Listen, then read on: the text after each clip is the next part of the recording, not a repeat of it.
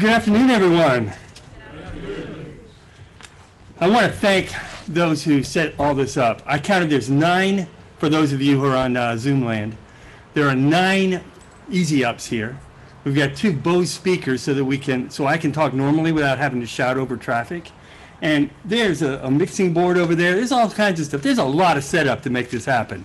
And uh, I really, really appreciate that. Um, also, we have a fancy microphone. I like that. In 1943, John Steinbeck, one of my favorite authors and a celebrated author at the time, joined the Army as a war correspondent. He was too old to fight because he was 41, but he wanted to serve his country. And he served as a war correspondent in England, Italy, and North Africa. And he wrote dozens of stories for newspapers all over the United States. While he was on the coast of England, he was at a B 17 bomber station, and he wrote the story Waiting. And he wrote about the bomber squadrons that he saw there and the people that he had met while he was there.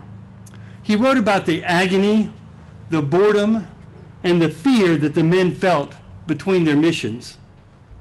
Now, once the mission started, these guys were okay. But in between, it was miserable. The wait in between was excruciating.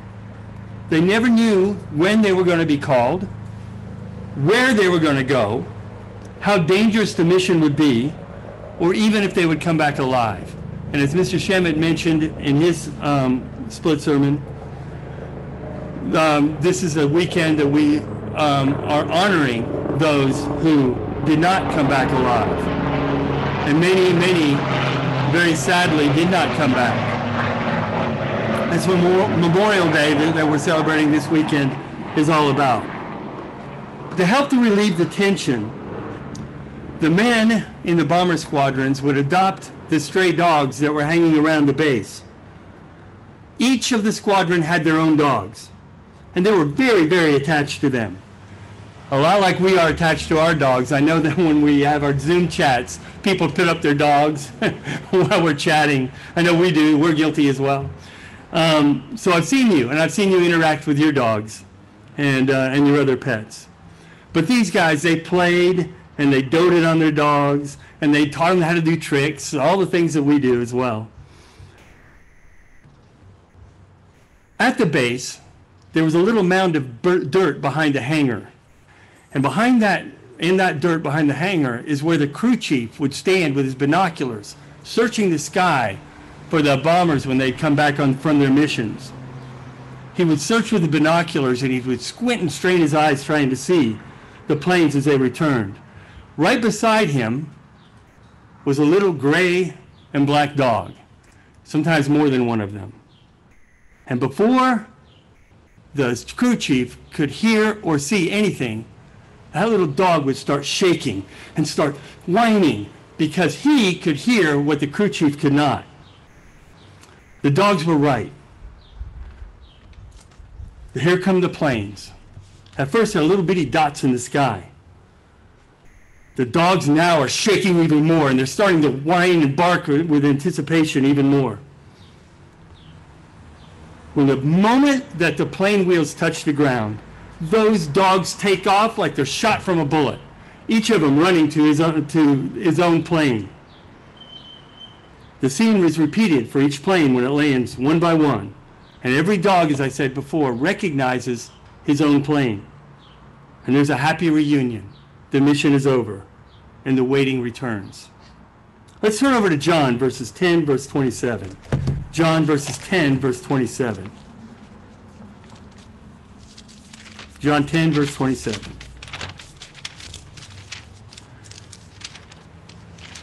As I was uh, reading the scripture made me think of this story that uh, John, St- John Steinbeck wrote.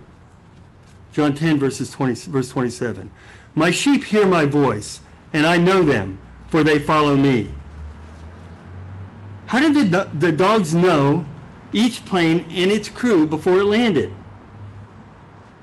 And as I asked this question, I thought of parallels to our spiritual life. To be that attuned to their crew and the planes that were attached to their crew, the dogs had to do three things. They had to listen to their masters, the bomber crews, very intently and be attuned to the sound of their voice and to their physical mannerisms as well, the unspoken sounds, so to speak, of their crew members. At this station, every crew flew the same plane every time. They didn't switch up. So they had to be attuned not only to the mannerisms and the physical mannerisms of the crew, but also the sound of the plane that went with that crew. The, the dogs had to know their crew intimately, what they liked, what they didn't like, and how to please them. And when they did please them, of course, the crew gave them rewards, attention, maybe scraps, scraps from the uh, mess tent, just like we do when we spoil our pets. The dogs also, the third thing they had to do was respond with enthusiasm. When the planes hit the ground, the dogs flew to the planes, ready to please their masters once again. So, in order for these dogs to have this kind of relationship with their masters, they had to do three things. They had to listen to their masters, they had to know their masters, and they had to respond to their masters. These three necessities of our spiritual life, listening to God, knowing God, and responding to God, are of ultimate importance to us. So let's first examine the first one, listening. Every character who is described as being close to God in the Bible demonstrates this quality. I'm just going to go to one of them, and so let's turn with me, please, to uh, 1 Kings 19, verse 4. 1 Kings 19, verse 4. And as I'm turning there, the, explain to you a little bit of the context as to what is going on here. This is about Elijah the prophet, 1 Kings 19, verse 4. Elijah the prophet. And he was sent to warn Israel of their idolatrous ways. And they were deep into idolatry at this time their king and queen at the time was none other than Ahab and Jezebel. And Ahab, Jezebel, and the people Jezebel and the people of Israel never listened to Elijah when he was when he was prophesying. As a matter of fact, they went about looking for any prophet they could find and killing them. And now they were after Elijah. So let's start reading in verse 4. But he himself went a day's journey into the wilderness and came and sat down under a broom tree. That's kind of a juniper tree and he prayed that he might die. And he said, It is enough. Now, Lord, take my life, for I am no better than my fathers.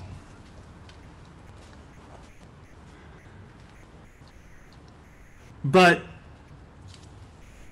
as we see here, Elijah was fleeing for his life, and he was discouraged. He was alone. And he thought he was, or he felt like he was the only prophet left, and he probably was. No one was listening to him, and he felt like he was a failure. But God, as we read, continue to read past verse 4, God told him that he wasn't alone. God sent an angel to take care of him, uh, take care of him, fed him twice. And when he got a little bit more strength, he journeyed 40 days to a cave. Now we can pick up reading more in verse 9. And there he went into a cave, and he spent the night in that place. And behold, the word of the Lord came to him, and he said to him, What are you doing here, Elijah? And he said, I've been very zealous for the Lord of God of hosts, for the children of Israel have forsaken your covenant. You can almost feel his, his discouragement in these verses, in this verse.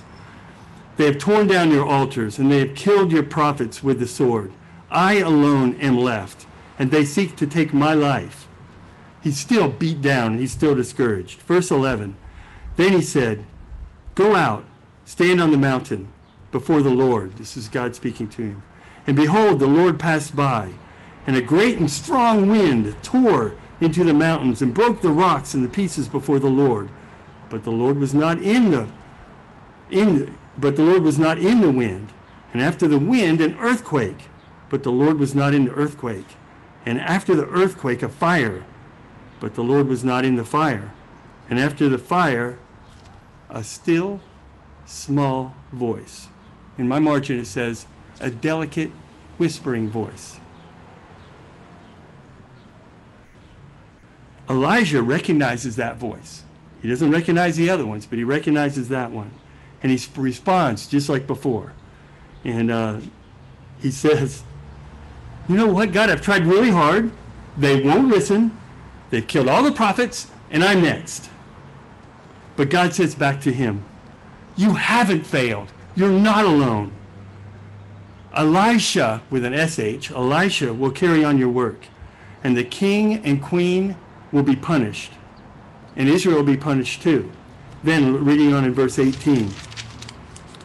Yet I have reserved, God says, 7,000 in Israel, all whose knees have not bowed to Baal, and every mouth that has not kissed him. God gives him a great deal of encouragement here. Just like the dogs at the base, Elijah knew his master's voice and responded. He was not distracted by all those powerful events, like the wind, which was probably more like a tornado, the earthquake, the fire. Each one of those, Elijah did not respond. He knew God's voice, and those weren't it. Then the delicate whispering voice came, and Elijah said, That's it. And he came out of the cave and listened to that. And when he listened, God spoke to him. He loved him. He comforted him. And he readied him for his next assignment, which was training Elisha. The world that we live in is very, very loud, both, both literally with the traffic going by and figuratively. Society's voices do not reflect God's way. They're the opposite, but they disguise themselves very convincingly, don't they? Sometimes we can be tempted to nod our heads and go, hmm, hmm maybe they have a point there, you know? Maybe uh, it is okay. We can love love just anybody we want and not recognizes that the love that they're talking about is erotic love, not the agape love oh, it's the same thing. And we can start thinking, oh, that's no difference. We can wrap ourselves in some kind of political agenda or another, or be deceived that that's God's voice. We're not immune to that kind of deception. Even people who are religious, they can get caught up with the charismatic preachers who preach a health and wealth doctrine, emphasizing prosperity. Charismatic preachers who um, teach health and wealth doctrines. Christ's teaching, in contrast, was like selfless and meek, not self-serving and not self-centered. Our, self, our, our society worships affluence. We see that all around us. In Steinbeck's last novel, it was called The Winter of Our Discontent. It was about a man whose integrity was gradually worn away throughout the book by the society around him. He was constantly being tempted and encouraged to compromise his values and to worship at the altar of affluence. We must learn to discern God's voice as Elijah did. Let's turn over to Matthew 24, verse 24. Matthew 24, verse 24.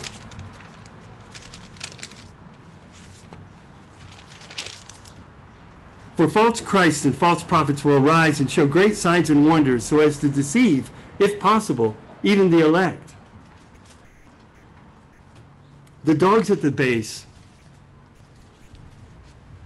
um, didn't um, recognize their master's pl- if they didn't recognize their master's plane, they stayed put. God's, through God's word, we can learn the sound of his voice, and we must learn the sound of his voice. And that sound of his voice must grow louder and louder in our, in our hearts to drown out the societies that are all around us, evil values. We must know the sound of our Master's voice. It literally is a matter of life and death. The second thing the dogs had to do to recognize the masters upon their return was to know their crews intimately.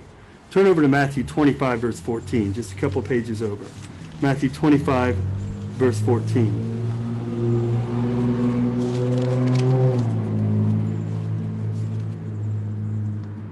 Matthew 25 and beginning in verse 14.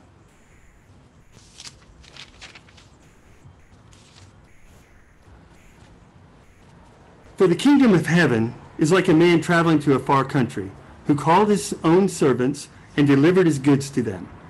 And to one he gave five talents, to another he gave two, and to another one, to each according to his own ability. And immediately he went on a journey. Then he who had received the five talents went and traded with them and made another five talents. The things I love about Christ's parables is they are so vivid, aren't they? I mean, you feel like you know these guys, right? You, sometimes I forget that they're not like that he just made them up, but they are. But but but they're, they because they're so vivid. Anyway, continuing on. Then he received five talents, went and traded with them, made another five talents. And likewise, who had received two gained two more also. But he who had received one went and dug into ground and hid his Lord's money. So he who had received the five talents came and brought five other talents, saying, Lord, you delivered me five talents. Look, I've gained five more talents besides them. And his Lord said to him, Well done, you good and faithful servant. You were faithful over a few things. Now I will make you ruler over many things. Enter into the joy of the Lord.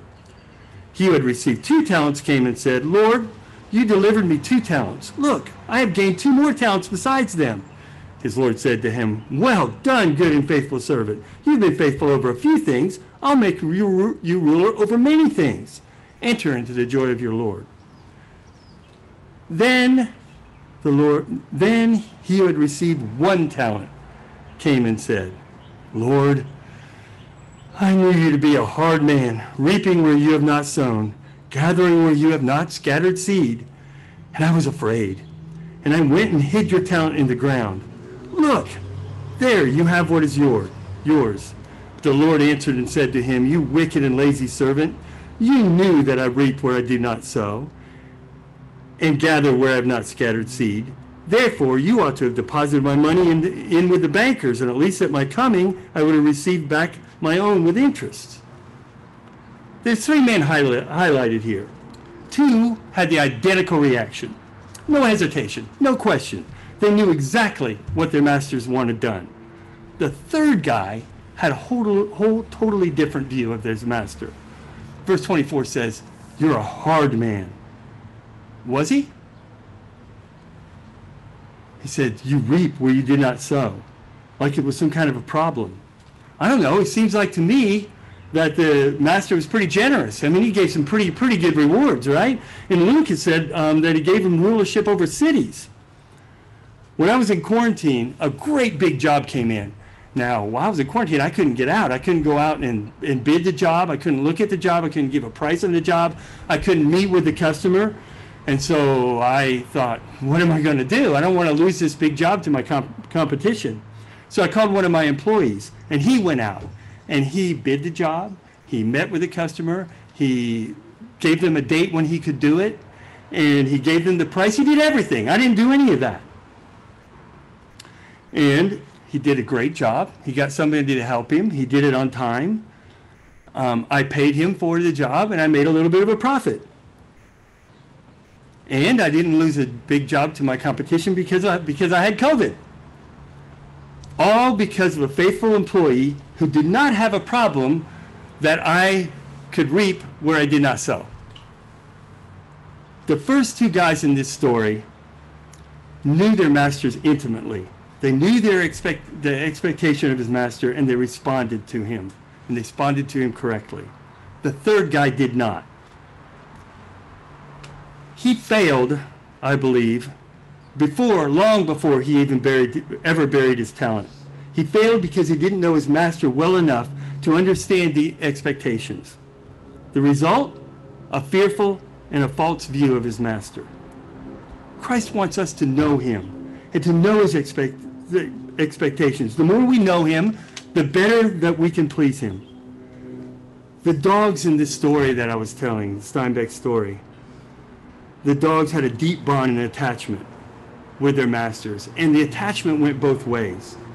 Like Christ said in, verse, in John 10, verse 14, I am the good shepherd, and I know my sheep, and I know and I, I and I am known by my own. If we are his and we know him, and he knows us. So the second point is we must know our master intimately in order to please him. The third point centers around response. My favorite part of Steinbeck's story is the reaction of the dogs when the planes come back. I mean, they are out of their minds with excitement when the, when the planes hit the ground. Let's look at a scripture that illustrates the kind of reaction those who have listened to and know Christ and the kind of reaction they will have at his return. Let's turn over to Luke. Luke verse, chapter 12, verse 35. Luke chapter 12, verse 35. I want to read this from the New Living Translation. Luke 12, verses 35. I'm going to read all the way to 38. Be dressed for service and keep your lamps burning as though you were waiting for your servant to return from the wedding feast. Then you will be ready to open the door and let him in the moment he arrives and knocks. The servants who are ready and waiting for his return will be rewarded. I tell you the truth. He himself will seat them, put on an apron, and serve them as they sit and eat. He, he may come in the middle of the night or just before dawn, but whenever he comes, he will reward the servants who are ready.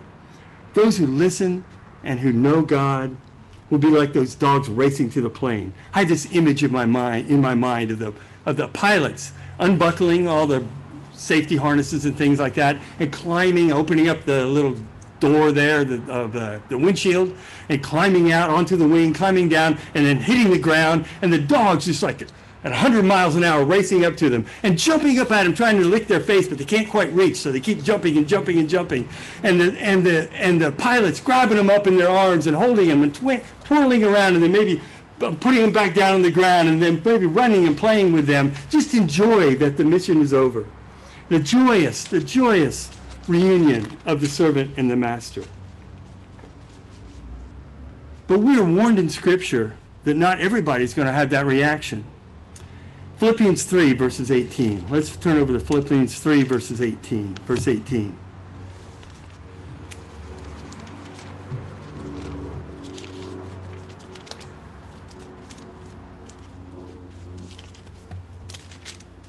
Philippians 3, verse 18. For many walk, of whom I've told you often, and now, and now tell you, even weeping, that they are the enemies of the cross of Christ, whose end is destruction, whose God is their belly, whose glory is in their shame, who set their mind on earthly things. We were like this before we were called and we gave our lives to Christ and received the Holy Spirit. These people have not listened to God. They don't know Him. They don't recognize Him. They spent their whole life focused on earthly things. Matthew 24, verse 30 says that the tribes of the earth will mourn at Christ's return. Why would they mourn at Christ's return? Because they have no idea who Christ is. They don't know him. Let's turn over to Revelation verses Revelation 17. Revelation 17. Verse 14.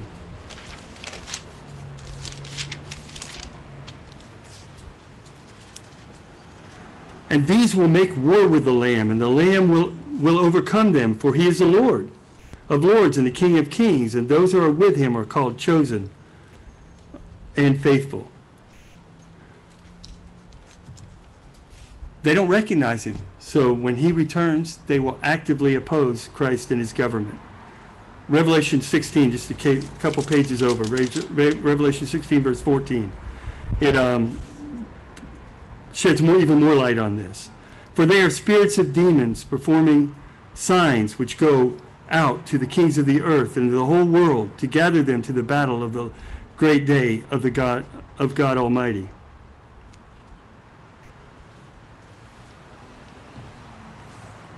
The kings of the earth don't want to give up their rule. They don't they don't recognize Christ. They think maybe he's some sort of space invader or something. They believe the signs the demons have, have deceived them into believing. Why? because they haven't listened to the shepherd. They don't know him. And he doesn't know them. They have become, sadly, Christ's enemies. But some aren't openly hostile like the ones I just described. Some are just afraid. Let's turn to 1 John 2. 1 John 2, verse 28. 1 John 2, verse 28.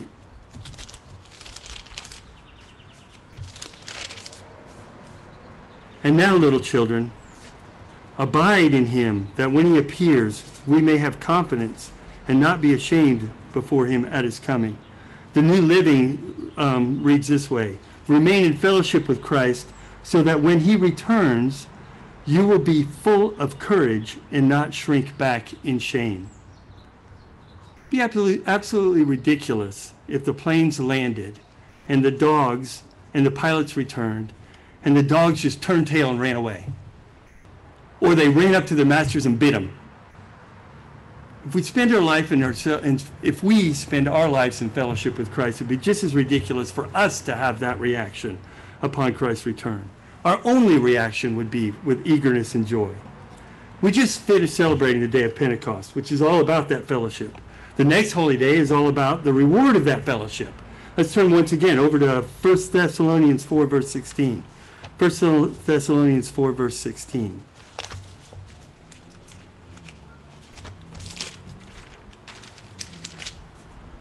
Four verse sixteen. For the Lord himself will descend from the heaven from heaven with a shout and with the voice of an archangel, angel, and the trumpet of God, and the dead in Christ will rise first. And we who are alive and shall remain will be caught up together with them in the clouds to meet the Lord in the air, and thus we shall always be with the Lord. Therefore, comfort one another with these words. The choice has been laid before us. Are we going to listen to God throughout our lives? Do we recognize his voice? Are we able to discern his voice and pick it out amidst, amidst all the noise of this society that's pump, being pumped at us? Are we striving to know God? Do we know what he expects of us? Are we responding to his instructions? Are we taking the spiritual gifts that have been given to all of us and just taking them and running with them? Is God's character and love deep within us? Is it being reflected to those that we come in contact with? Not just each other, but those that we come in contact when we're at work or at school or anywhere that we might be. Will we be like these dogs, eagerly, eagerly anticipating Christ's return? Or, on the other hand, will we be like the others who are deceived or allow ourselves to be deceived or become ashamed or afraid or worse yet, rise up against the Lord when he returns? The answer to that, to that question ha- has everything to do with what we are doing now. We're not immune to the deception that's around us. Matthew 24, 24 says it.